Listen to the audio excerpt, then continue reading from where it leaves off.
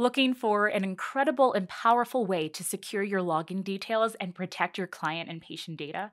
When you log into something like your Cliniko account, you usually need to provide an email and password.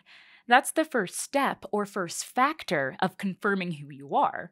But we have something called 2FA, which stands for two factor authentication.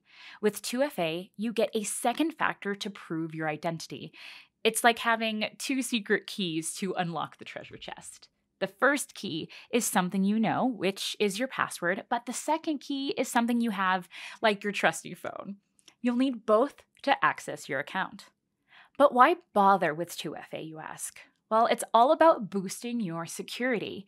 Even though Cliniko servers are secure and monitored 24 7, if someone gets their sneaky hands on your password, they can waltz right into your account.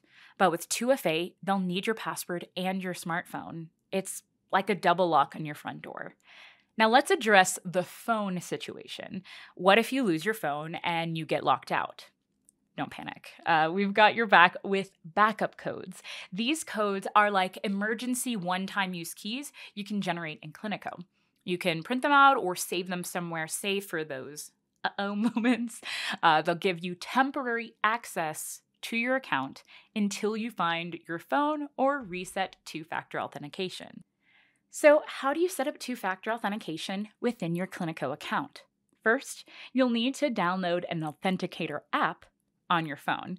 We suggest Authy because it's super easy to use.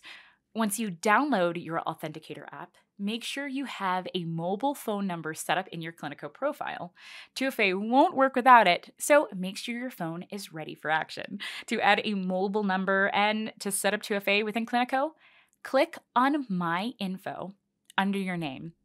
Here, you'll see an option to add a mobile number. Otherwise, scroll down until you see the 2FA settings.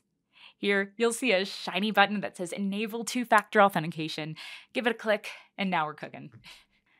From here, you'll see four steps. Step one is to update or add your mobile number if you haven't already, while step two is to download the authentication app of your choice. For step three, open up Authy on your phone. You'll need to create your Authy login, but once you're verified and set up, you'll be able to add an account. When you click Add Account within Authy, you'll be prompted to scan the QR code on your Cliniko screen. If you cannot scan the QR code for any reason, you can also manually enter in the code provided within Cliniko. Once entered or scanned, you'll be provided a verification code on Authy. Enter Authy's provided verification code within Cliniko, and voila, you're all set. The next time you log into Cliniko, you'll be asked to enter your verification code. Open up your Authy app to get this code, and just remember the codes change every 30 seconds, so don't panic if you miss the timing. Wait for the magic to refresh and try again. Keep in mind, you'll be requested to enter a unique code each time you log in from a browser or device we don't recognize.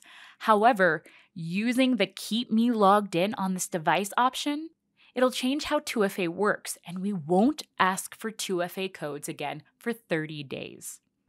Also, don't forget about those backup codes. They're your lifeline when things go haywire. Head back to your My Info page at any time and generate those precious codes. Print them out, take a screenshot, and or store them safely. Whatever you do, make sure you keep them safe like a treasure map. We hope you're excited about 2FA, but if you need any help setting it up, just give us a shout via help. Chat with us in your account. Until next time, clinical friends and family,